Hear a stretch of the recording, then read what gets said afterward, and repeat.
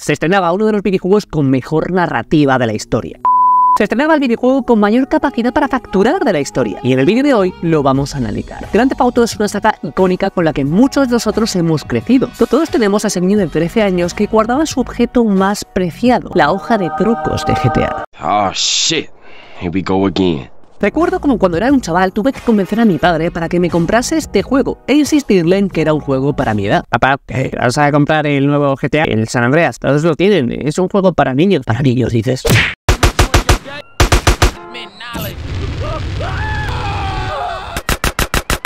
Sin embargo, tras muchos meses de estudio y análisis he podido descubrir lo que pocos youtubers te han contado, y es que la saga Grand Theft Auto es una saga familiar. En el vídeo de hoy vamos a adentrarnos en las profundidades de GTA V, el iceberg psicológico que este juego de la saga tiene que aportarnos. Hoy vas a entender por qué esos personajes reflejan un lado oculto que muchos de nosotros tenemos y cómo esta información puede ayudarte a mejorar tu vida, porque GTA V tiene una de las mejores reconstrucciones y desarrollos de personajes de la saga, a excepción del rey. Y a ti te toca descubrir quién de los tres es.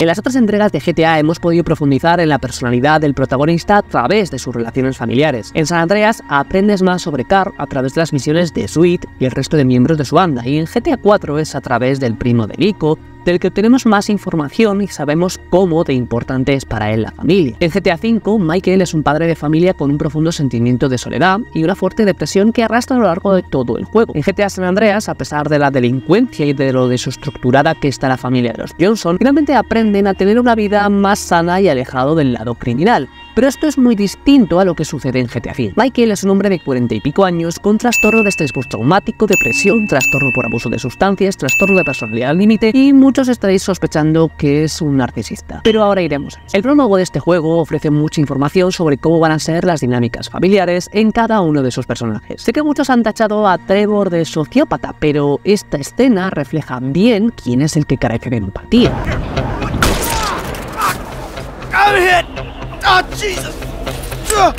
Vemos ya desde el principio cómo Trevor está dispuesto a sacrificarse por Michael, su amigo, porque realmente no quería, como veremos en ese detalle del tatuaje, en el que lleva su nombre con la fecha de su muerte. Pero es Michael quien no solo finge su propia muerte, sino que es completamente capaz, sin remordimientos, de estar dispuesto a traicionar a su banda su familia, porque esto es lo que haría un narcisista, ¿verdad? Para responder a esa pregunta, conozcamos antes a la familia de Michael. Pero antes de entrar en detalle, necesito ponerte en contexto. Michael conoce a Amanda en Lunderborg, cuando esta trabajaba de stripper en un club del pueblo. Poco antes de comenzar a salir, Michael pagó para que Amanda se hiciera un aumento de pecho y así ganar más dinero a repartir entre los dos. Es un detalle bestial de cómo ya, en el pasado, Michael usaba a las personas de una forma completamente instrumental, siempre para obtener un fin. Con el tiempo, ambos se casarían y tendrían a sus dos hijos. James y Trace. Si algo bueno tiene GTA V son las misiones con el psicólogo.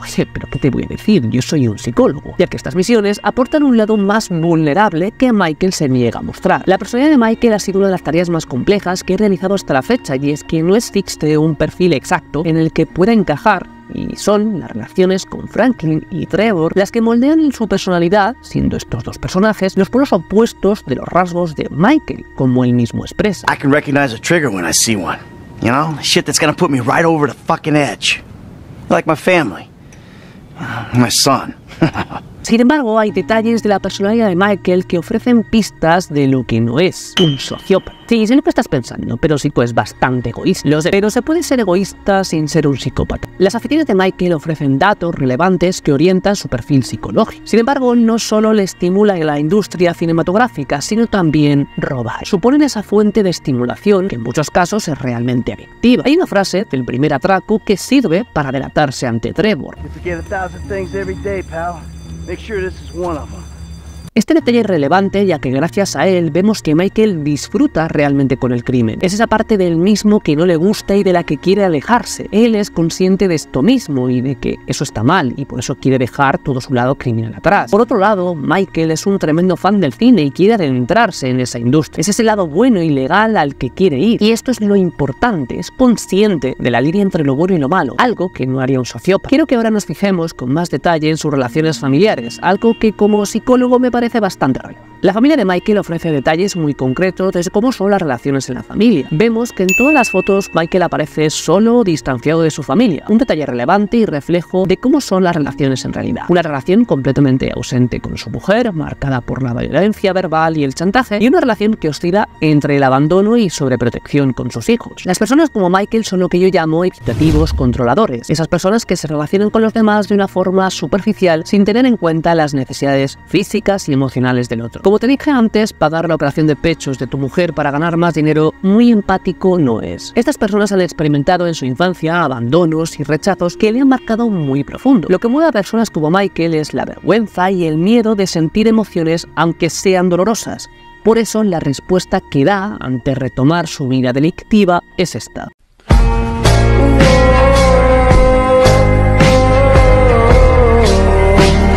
No está orgulloso, pero es incapaz de aceptar la responsabilidad de sus acciones y cambiar.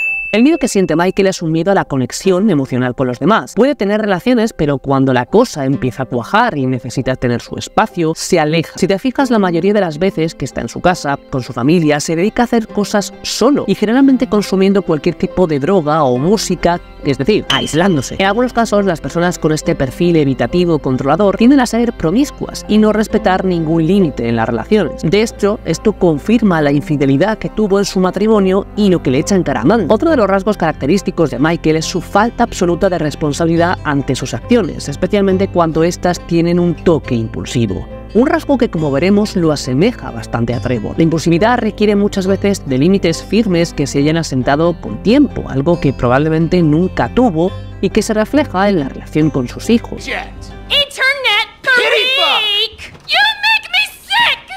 Everything makes you sick. You have an eating disorder. Antes te he comentado que uno de los posibles trastornos de Michael es el trastorno límite de la personalidad. Y aquí uno de los rasgos más comunes, la impulsividad y la carencia absoluta de límites. Aunque es cierto que esto va mejorando a lo largo del juego y de su historia. Cuando su familia no está en casa, tiene llena de mierda, consume más alcohol, tabaco, comida a domicilio, y cuando vuelve, o está en entornos controlados y ordenados como un trabajo legal, bueno, todo lo legal que se puede en GTA, su estabilidad mejora. Aunque esta impulsividad siempre está marcada cuando surge algo que le hace sentirse vulnerable o que pierde lo que quiere. La relación con su hija Tracy está marcada por la absoluta indiferencia con atisbos de sobreprotección, del mismo modo que la relación con James carece de los mismos límites y de utilizarse mutuamente para fines auténticamente personales. Michael para cubrir su soledad y su sentimiento de vacío, y James para sacarle el dinero a su padre. Otra de las cosas que más me ha sorprendido siempre es la agresividad y el desprecio con el que Michael trataba a su hijo, incluso cuando habla de él.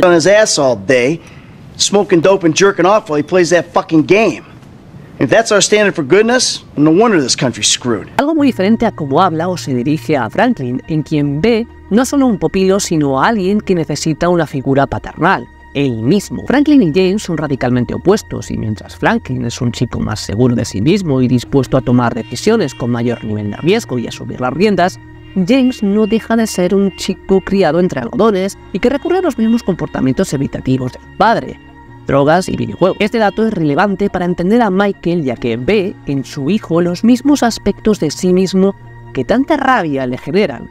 Detalles que no solo detesta, sino hacia los que siente absoluta repulsión, que significa verse vulnerable. La vulnerabilidad es una sensación muy ligada al trauma y las experiencias que guardamos sobre ello. Este hecho me ha inclinado a pensar durante toda la historia que Michael es un personaje que sufre las secuelas del trastorno de ser postraumático que le ha dejado toda su vida delictiva y algo que quiere dejar atrás. You obviously never met my old buddy.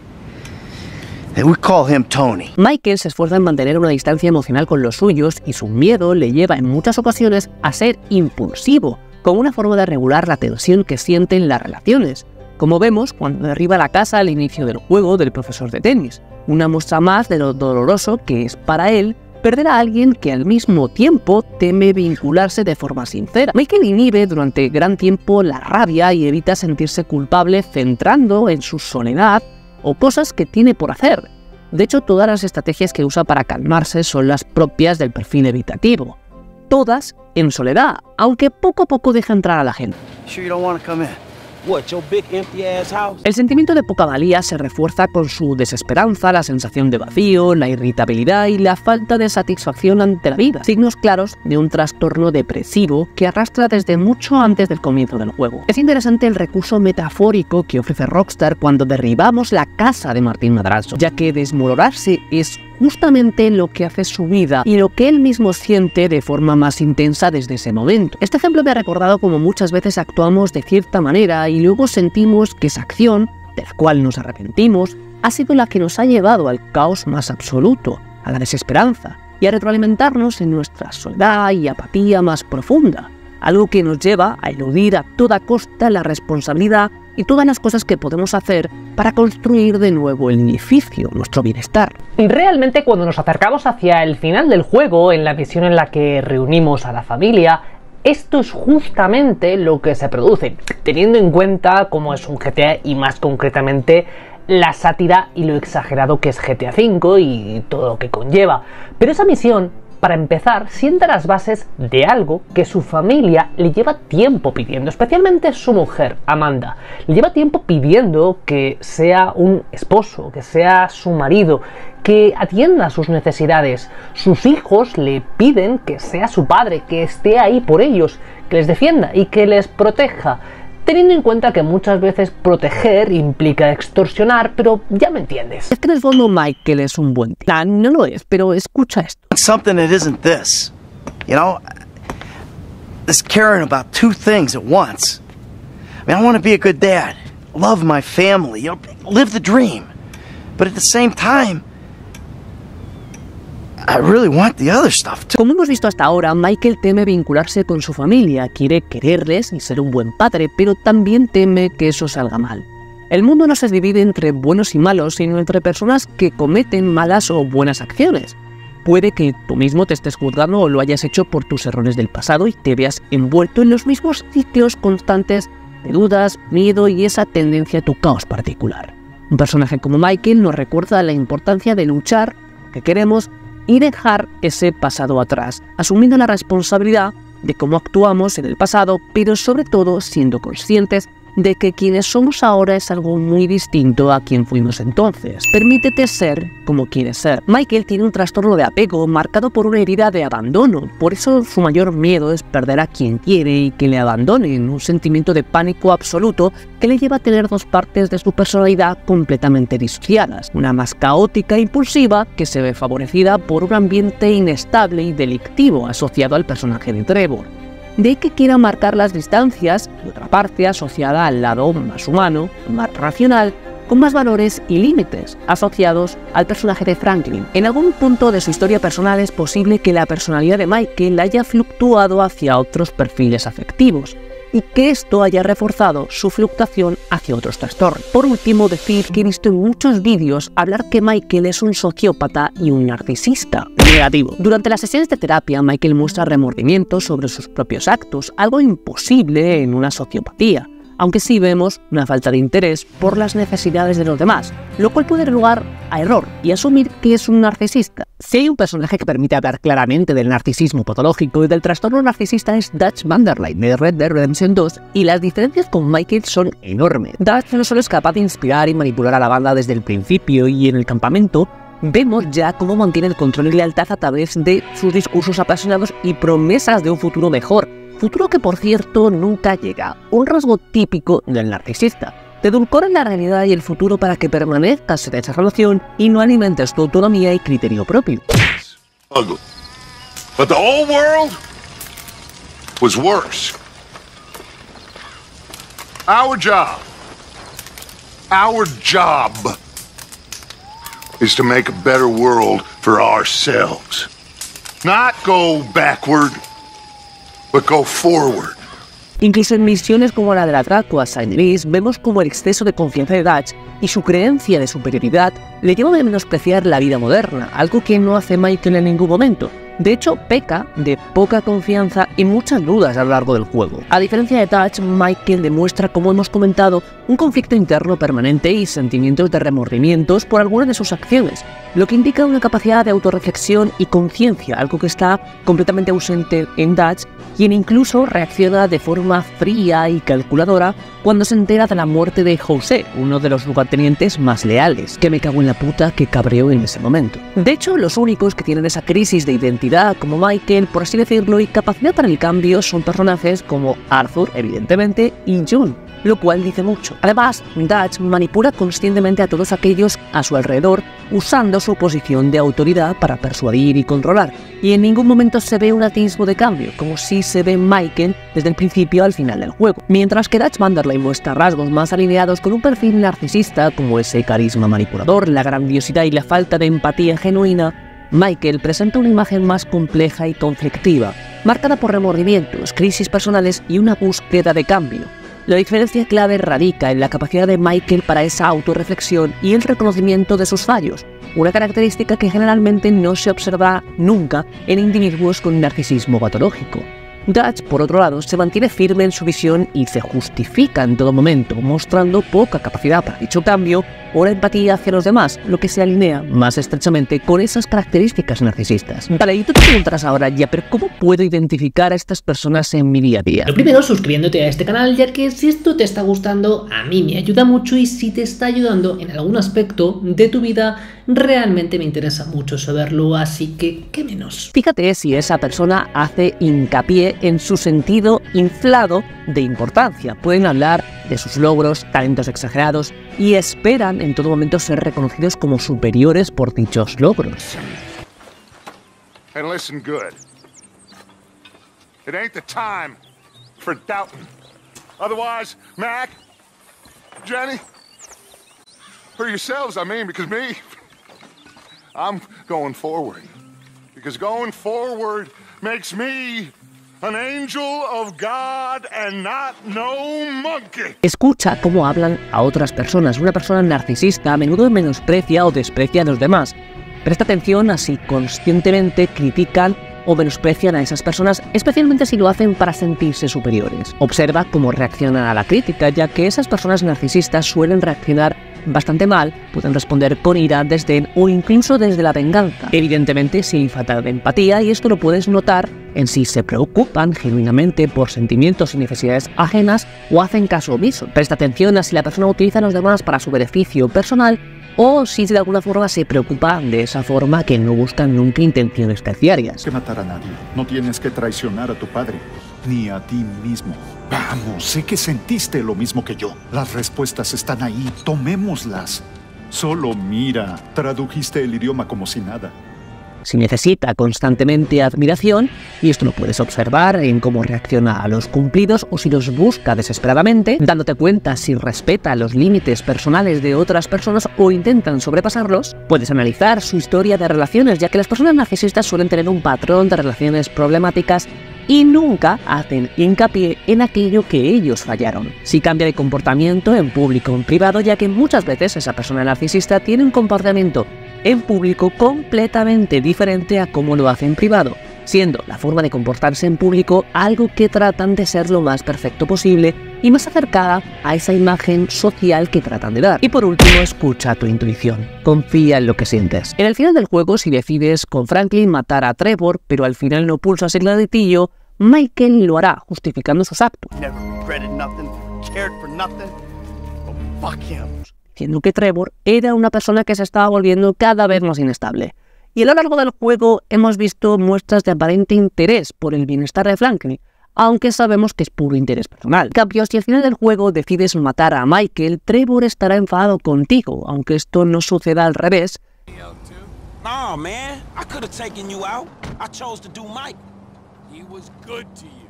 Too good. And he used me, dog. Straight up. Could not be trusted. You know that. Now you can't be trusted either. Stay away from me, Frank. I don't do them I don't know what else. Si decides matar a Trevor. Michael se autojustificará, lo cual deja ver claramente quién apreciaba a quién en la relación. Aunque esto no significa insisto, que tenga un trastorno narcisista de la personalidad. Aunque Michael sea una persona a la que le cuesta conectar y expresarlo en la misión reuniendo a la familia, tenemos la clave de todo esto. Una misión donde vemos la catarsis de este personaje. Su hijo tiene un momento con él, de padre a hijo, en el que le expresa lo que siente, todo con la sátira típica de un GTA. You're just a lame and angry psycho sometimes. You do bad shit and things. I don't know if I love you, and I'm pretty sure I hate you a little bit, but I'm just so fucking upset that we can't even see each other. Y tanto con su mujer como con su hija pone los límites que tiene que poner y sobre todo escucha a su mujer, aunque sea para agredir al profesor de yoga. Hey, buddy, I'm gonna ask politely that you show my wife a little respect. Red meat has been blocking your chi as well as your digestive tract. I ain't even gonna go there. I'm gonna ask you one time, nicely. Michael, just hit him, please. Shush, woman! Anything for you, sweetheart. What, what, what are you?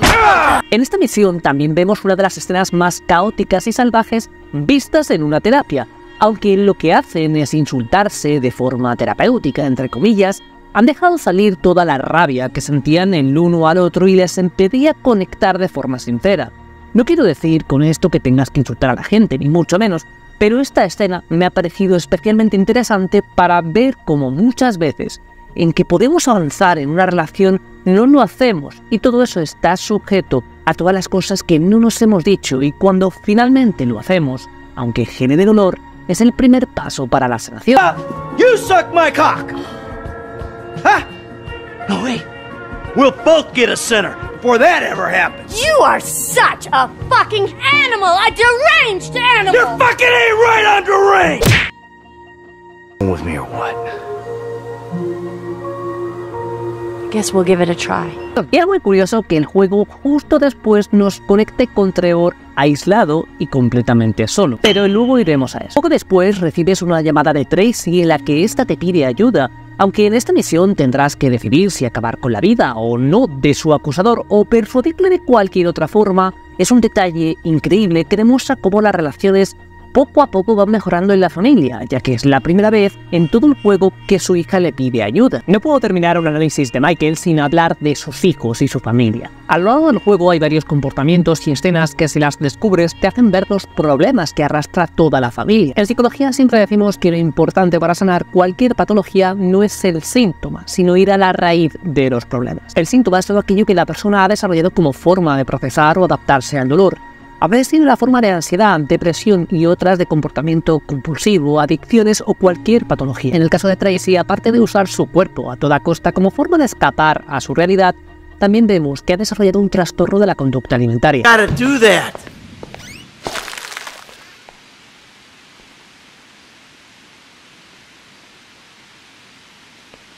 I had a really heavy lunch. Nobody wants a fat daughter. Este diálogo demuestra que lo único que quiere Tracy, que se ve después de ayudarla, es el cariño de su padre.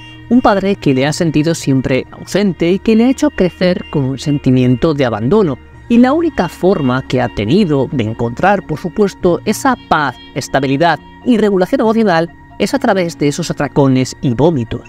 En el caso de Jimmy, la caótica vida que tiene y lo tremendamente enganchado que está al alcohol o a los videojuegos, o que ni siquiera se plantee tener un trabajo, es un reflejo de lo roto y vulnerable que está por dentro. And I don't know what to do except I want to say I love you and hug it out, but all that wimpy shit is just. Well, I'd say gay, but I have some friends who are gay, so that's not cool anymore. And the ones that I don't really like, it's not because they're gay. So lame, all right? You are just a lame and angry psycho sometimes. You do bad shit and things. I don't know if I love you, and I'm pretty sure I hate you a little bit. Muchas veces las personas nos refugiamos en ese tipo de comportamientos como una especie de sedante. Nos anestesia el dolor, ya que en el fondo lo más doloroso es hacer frente a todo lo que tenemos por delante, que en el caso de Jimmy es encontrar un trabajo y poner en orden su vida. Hay un detalle del juego si decides matar a Michael que refleja bien lo que sentía cada miembro de la familia por su padre o su marido. Si decidimos matarle, lo primero que vamos a comprobar es que su vida empezaba a normalizarse, incluso que su hija decidía ir a la universidad. Tracy. College? Our Tracy. R- real college? You gotta be kidding me. That's great. Ah, Amanda. Says she wants me to bring you around the house sometime. Es una genialidad por parte de Rockstar enseñarte esto justo en este momento y que te sientas culpable por tu decisión. Una ruptura de la cuarta pared muy simbólica. Amanda nos escribe un correo repleto de ira y de dolor, demostrando que realmente quería a su marido y confiaba en ese futuro más esperanzador juntos. Jimmy nos llama preocupados y en la conversación hay pistas de que Amanda todavía no le ha informado de nada a sus hijos. Si matas a Michael, destrozas a una familia que empezaba a remontar. Trevor también nos manda un correo bastante escueto, y esto dice mucho del personaje. Nah, man. I could have taken you out. I chose to do Mike. He was good to you. Too good. And he used me, dog, straight up. Could not be trusted, you know that. Now you can't be trusted either. Stay away from me. Luego veremos que en el caso de Trevor, romper relaciones con aquellas personas que aprecia es algo realmente duro para él, y es justo lo que hace en este momento. Sacrificar la relación con Franklin porque quería realmente a su amigo. Los rasgos de Michael podrían encajar en el trastorno antisocial de la personalidad, aunque son solo eso, rasgos. No podemos hablar de un sociópata como tal, ya que en el contexto de orden, de estabilidad, la familia que tiene, aunque no sea perfecta, y mantenerse alejado del mundo delictivo, ha sido lo que le ha aportado estabilidad mental mientras lidiaba con sus demonios internos. Es bastante egoísta, sí, siempre vida por sus propios intereses, sí, ya que, por cierto, el personaje está basado en Michael Townley, un ex miembro del grupo radical de izquierda americano, conocido como Weather Underground, y que más tarde colaboraría con la CIA. Y es que en muchas ocasiones nos definimos a nosotros mismos en función de nuestros actos. Decimos que somos personas egoístas o malas por conductas, lo cual nos lleva a sentirnos tremendamente culpable y a hablarnos fatal a nosotros mismos. Lo que más me ha gustado de este personaje es que no hay nada claro y todo está sujeto a la interpretación que quieras darle como jugador. Sin duda alguna, todos nosotros somos el resultado de las relaciones e interacciones que tenemos con nuestro mundo y las personas que lo habitan.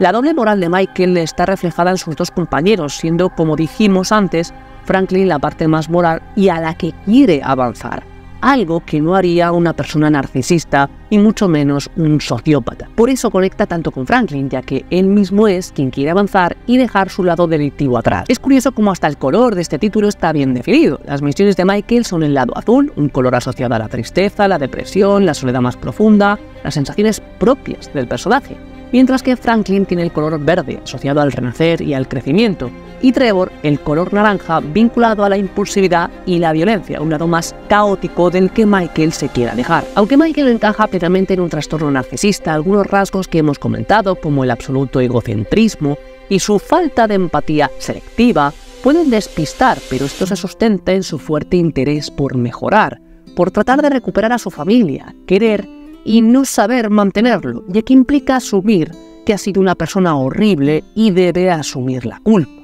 Por eso Trevor lo asusta tanto. Pero ¿qué le asusta de Trevor? Para responder a esa pregunta necesito antes hablarte de Franklin, el lado moral de este juego. Franklin creció en un ambiente desafiante marcado por la pobreza y la criminalidad. Sería raro no compararlo con el que podría ser su antepasado en la saga, GTA, Carl Johnson, aunque a diferencia de la red de apoyo que tiene Carl, Franklin carece de figuras parentales de relevancia en su vida y junto a la relación que tiene con su tía Denise, Darling, why don't you go get yourself something nice, okay? Thank you. it's, it's it seven dollars. I said something nice, not expensive. You want to be a gr- genera un caldo de cultivo maravilloso para querer ascender y querer mejorar su situación alejándose de las limitaciones de su entorno. A lo largo del juego vemos un carácter insistente en Franklin, una insistencia y perseverancia en querer ganar mucha pasta y escapar de su situación, de perseverar y de ascender en la vida. Es un detalle que la trama de este juego te oriente precisamente a que la mansión que Lester le ofrece es un hogar muy alejado de su barrio original y además en la cine de Pinewood, una metáfora muy curiosa de lo que representa y busca su vida, ascender y crecer. Franklin es el personaje más reservado en temas afectivos de los tres, pero este ojo de psicólogo no se ha quedado sin hacer nada y evidentemente hemos hecho los deberes. Tanto con su amigo Lamar como con Michael y Trevor, Franklin es siempre la voz de la razón. Esa moralidad, que tantas veces es necesaria, pero ante todo es la parte racional de un dúo o relación tremendamente impulsiva o irracional. Years of marriage to the world's angriest mob boss would make anyone insane. You're not making my situation any easier. Muchos de nosotros en algunas ocasiones vivimos momentos de tensión en los que la parte emocional cobra protagonismo, o bien tendemos hacia la impulsividad, buscando el beneficio a corto plazo, pidiendo comida rápida o tapando un problema, pero es esa parte racional, la más elaborada, la más tediosa de hacer, la que fomenta la perseverancia, la disciplina y la regulación emocional a largo plazo. A diferencia del resto de personajes, Franklin no está centrado en el pasado, sino en el futuro. Como concepto metafórico, Michael permite representar la parte de nuestro cerebro que, cuando ha sufrido un trauma, se enfoca en revivirlo, en permanecer en el pasado, y Franklin es la parte que mira hacia adelante, hacia el futuro. Cuanto menos recursos tenemos o más difícil es afrontarlo, más protagonismo tiene el pasado, Michael, pero conforme nuestra forma de superar las adversidades o nuestra capacidad para superar lo que tenemos por delante, más protagonismo tiene Franklin. Y esto es exactamente lo que sucede en el juego a medida que avanza la trama. Franklin tiene más protagonismo. Franklin demuestra un grado de autocontrol y estabilidad emocional muchísimo más funcional que Michael y por supuesto que Trevor. Sin embargo, también muestra signos de evidente conflicto interno, especialmente cuando trata de balancear su moralidad inherente con las exigencias de su estilo de vida criminal. Un conflicto que refleja esa lucha por vivir una vida mejor y los medios a menudo inmorales que para alcanzarla, lógicamente. Esta parte más estable y con capacidad de autocontrol del trío de GTA V demuestra esa lucha interna que muchos de nosotros tenemos cuando tenemos que hacer ciertas cosas que nos cuestan o que suponen un verdadero reto. Mientras escribo este guion me estoy preparando para correr una maratón y me debato entre si salir o no a correr porque me da muchísima pereza, y más después de comer. La relación con Michael y Trevor es crucial para entender a Franklin como personaje. Michael sirve de figura paternal y hace las veces de mentor, ofreciendo a Franklin una visión del mundo mucho más allá de su realidad actual. Sin embargo, aquí tenemos que destacar todo lo que hemos dicho en el apartado de Michael, y es que la manera que tiene este de relacionarse con Franklin es en muchos casos una forma de manipular cuando no haces lo que te pido. Juzga, le dice, hazme caso tú a mí, que yo de esto sé, en definitiva, una forma de anular cualquier atisbo de independencia y autonomía por parte de él. That's why you here in Vinewood then, right? Maybe I'm here because I'm just an idiot who thinks that imported palm trees are a good substitute for not really knowing what the fuck you're doing on this earth. Jesus, man. De hecho, a medida que avanza el juego y Franklin tiene más criterio propio y mayor seguridad en sí mismo, suelen ser más frecuentes las discusiones que tiene con él. Sake, man. You all are assholes. Man, I gotta go calm down, homie. Una forma de GTA V y los videojuegos de demostrarnos cómo muchas veces cuando ganamos independencia y seguridad y empezamos a hacer lo que nos apetece o lo que consideramos correcto y aquellas personas que nos han acompañado nos juzgan o nos critican por ello, quizás es una red flag como una catedral que conviene tener en cuenta. Uno de los detalles psicológicos más importantes en Franklin son sus marcados valores morales y el código de lealtad que demuestra hacia aquellos que le importan. En la misión final, si decides arriesgar tu vida, decisión que coincide narrativamente con el desarrollo del personaje, este llamará a su amigo Lamar para que puedas protegerle. It's all good, nigga. Who better to have in a fucked up situation than a fucked up fool like me? Man, that's what the fuck I wanted to hear. Hey, look, I'm coming to your crib to get your ass. Tras todo el conflicto, este le viene a decir, oye bro, para esto estamos. Una forma de Rockstar de reforzar el valor humano que tienen para este personaje las amistades. Y es que la lealtad y la familia refuerzan el sentimiento de pertenencia que siempre ha buscado y deseado Franklin. Un recuerdo, como he dicho al principio, del análisis del protagonista de San Andreas, cuya trama gira en torno al conflicto de lealtades entre familias. El análisis de San Andreas es otra historia. Del mismo modo que por parte de Trevor en relación a Franklin demuestra todo aquello de lo que este último quiere alejarse, el hedonismo puro y el anarquismo más caótico. Porque si dejamos crecer nuestro lado caótico y anárquico, si no existe en nuestra vida ningún tipo de límite o de moral, podemos caer en el mismo mundo oscuro que Trevor Phillips. La historia de Trevor es tan compleja como oscura, marcada por un pasado turbulento que juega un papel crucial en la formación de su personalidad extrema y a menudo violenta, y que ofrece ese tono que todo GTA necesita. Trevor nació y creció en un entorno difícil. Su padre era abusivo, un maltratador, y de hecho le abandonó. Aunque a esto tenemos que añadirle una madre emocionalmente desequilibrada, dinámicas familiares que dejaron profundas heridas emocionales en Trevor y un sinfín de centros correccionales por los que tuvo que pasar. La falta de un ambiente familiar estable contribuyó a sembrar sus problemas de comportamiento a una edad temprana, y esa herida la hará ver en muchos momentos.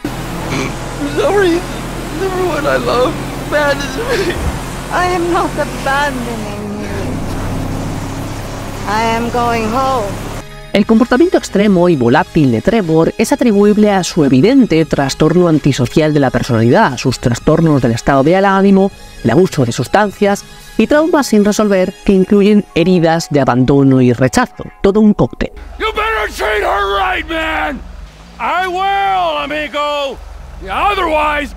La falta de relaciones buenas durante su infancia y ese ambiente inestable en el que tuvo que estar tras pasar por más de 10 centros de acogida llevó a que Trevor desarrollase un patrón afectivo más desorganizado y que poco a poco fuese creando un modelo de relación donde siempre los demás son una amenaza y no se debe confiar, ya que el riesgo es demasiado elevado.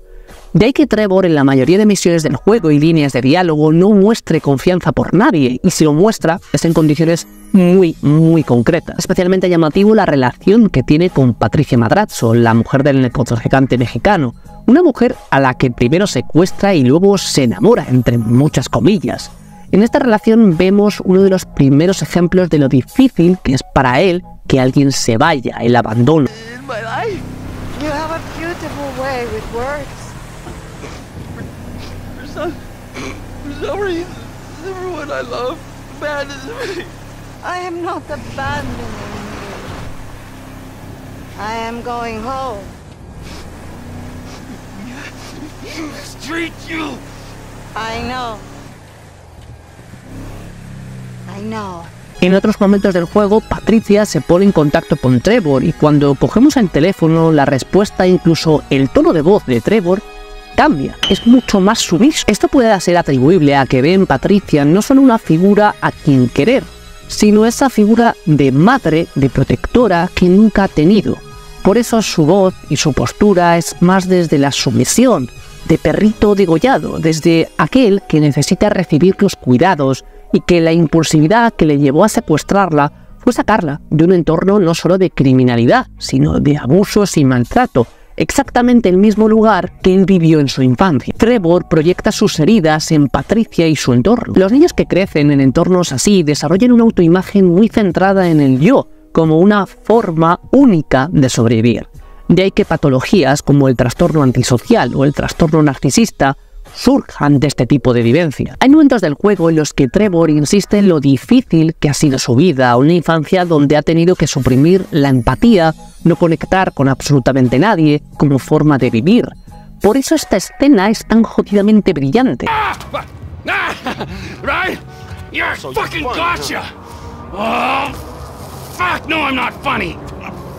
Fucking asshole! What was that? Uh, nothing. Ah! La respuesta de Trevor en esta escena es desmedida ya que Franklin se ha reído por esta caída, algo que puede parecer sin apenas importancia, pero que para Trevor supone un ataque muy profundo a su yo más vulnerable. Ese ataque que de niño no aprendió a canalizar porque implicaba soledad, rechazo y mucho miedo y rabia, lo vive de adulto como algo muy difícil de soltar. Por eso le cuesta tanto no agredir a Franklin, aunque una parte de él querría hacerlo. Y decide que lo mejor es volcar toda esa energía, toda la rabia, en alguien desconocido. Estos detalles que ofrece el juego, como el hecho de que su pantalla del móvil esté rota, son perlas que hacen del juego una experiencia más realista. Detalles que me han llevado a hipotetizar que, a pesar de su evidente trastorno antisocial, es capaz de crear vínculos en condiciones emocionales muy concretas. Por ejemplo, Trevor es el único que insiste en sacar a Brad de la cárcel, un signo que puede interpretarse como señal de lealtad, rasgo poco común en una personalidad antisocial, pero que indica que puede hacerlo cuando se trata de un grupo reducido y con el que especialmente ha tenido siempre algo que soñó, una familia. Del mismo modo que la preocupación que siente por los hijos de Michael podría ser una extensión de la relación que tiene con él, reflejando un lado distorsionado de familia, no solo porque no sea la suya, sino porque no le quieren en su vida, y Trevor insiste en permanecer ahí. We? Yeah, we. What, are you gonna stand here and argue while your daughter becomes a national laughing stock? Huh? A pesar de todo, hay momentos que tiene con Franklin en los que se preocupa por él. Sabemos que no tiene toda la razón y que oculta parte de la verdad en muchas ocasiones, pero hay conversaciones como esta en las que directamente le dice a Franklin que tenga cuidado con Michael, que no es trigo limpio. Homie, you sound like some bitch he ain't called. Like, oh, he lied to me. I am some bitch he didn't call for 10 years. Fuck, man, he fucked you. The fucker got fucked. Damn, he fucked the fucker himself. Shut up. Y hombre, tú y yo sabemos que aquí tiene bastante razón, por lo que la preocupación es sincera, a pesar de que él tampoco lo sé. Esto y otros tantos ejemplos que hay a lo largo del juego nos demuestran que Trevor es capaz de preocuparse, de interesarse y que incluso ha llegado a mejorar cuando ha estado dentro de una sociedad. Por eso, cuando está en el desierto, es cierto que tiene menos problemas, más o menos, pero empeora porque no hay ningún tipo de límite, es la anarquía absoluta. De hecho, la casa de Trevor es el reflejo de una personalidad antisocial y un perfil más desorganizado. Abuso de alcohol, drogas, comida rápida, desorden, caos. El comportamiento impulsivo, la violencia constante y las conductas explosivas son un reflejo de lo habituado que está a la violencia, ya que desde bien pequeño se ha acostumbrado a creer que esta es la forma en la que el mundo funciona. Las personas como Trevor, que están acostumbradas a manejarse con los demás y con el mundo a través de este tipo de violencia, no solo la física, sino la intimidación, el chantaje, el maltrato y en muchos casos el absoluto aislamiento, porque uno de los mecanismos de defensa ante su trauma es la negación, negarlo, negarlo todo, negar su dolor, proyectar, como hemos comentado antes en el caso de Patricia, y efectivamente aislarse. Ahora bien, ¿por qué funciona tan bien este trío? GTA V se arriesgó hace más de 10 años mucho al introducir no solo dos, sino tres personajes en una historia y fue de los primeros videojuegos en hacerlo. Y para que esto tuviera éxito, había que diseñar no solo una historia, sino perfiles psicológicos de personajes que pudieran no encajar sino chocar entre sí. Fuck you, man! Hey, hey, hey, hey! God, for a couple of Midwest stick-up artists, you guys sure have become a pair of... Man, I gotta go calm down, homie. Las personalidades de Michael, Franklin y Trevor son tres tipos de perfiles psicológicos que están condenados a fracasar, a no entenderse. Una personalidad más evitativa y controladora como Michael nunca va a encajar con un perfil caótico e impulsivo como es Trevor. Aunque Michael también tenga respuestas impulsivas, siempre tiene que tener el control de la situación, mintiendo o ocultando la verdad, y no deja pie a generar relaciones sinceras, ni siquiera con Franklin. Por eso, cuando Trevor se entera de que Brad está muerto y que todo fue una mentira por parte de Michael, tiene esta respuesta. got shot, I did. That's... that's it! I think the only thing that didn't go as planned was me showing up on your doorstep 10 years later. Mikey, I mourned you. Trevor se siente traicionado por Michael y sabe que no puede confiar en él, aunque desea hacerlo, le quiere realmente. Del mismo modo que un perfil como el de Franklin, alguien más seguro y con mucha más estabilidad, aunque no sea perfecto, es un tipo de perfil de aquellas personas que tienen las cosas muy, muy claras saben lo que quieren y especialmente saben lo que no quieren. En una relación de pareja o de amistad, este tipo de personas no durará mucho tiempo, ya que es la parte segura, Franklin, quien pondrá los límites. Y si la otra persona no cambia, una persona como Michael o como Trevor, se cansará y la relación no durará. En los últimos años los videojuegos están recurriendo en sus historias a la dualidad de protagonistas, Ellie, Kratos y Atreus, Hugo y otros tantos personajes que hacen de la experiencia de juego algo diferente. Es el recuerdo de que no somos agentes aislados en el mundo y todos, absolutamente todos, necesitamos lo mismo, una familia. Porque es gracias a los demás cuando tienes un día duro, un día difícil en el que quieres acabar con todo, cuanto más necesitas un hombro en el que llorar, un lugar seguro en el que sentirte protegido y no juzgado, un lugar donde gritar y no sentir que estás haciendo algo mal, un lugar que te permita ser quien eres.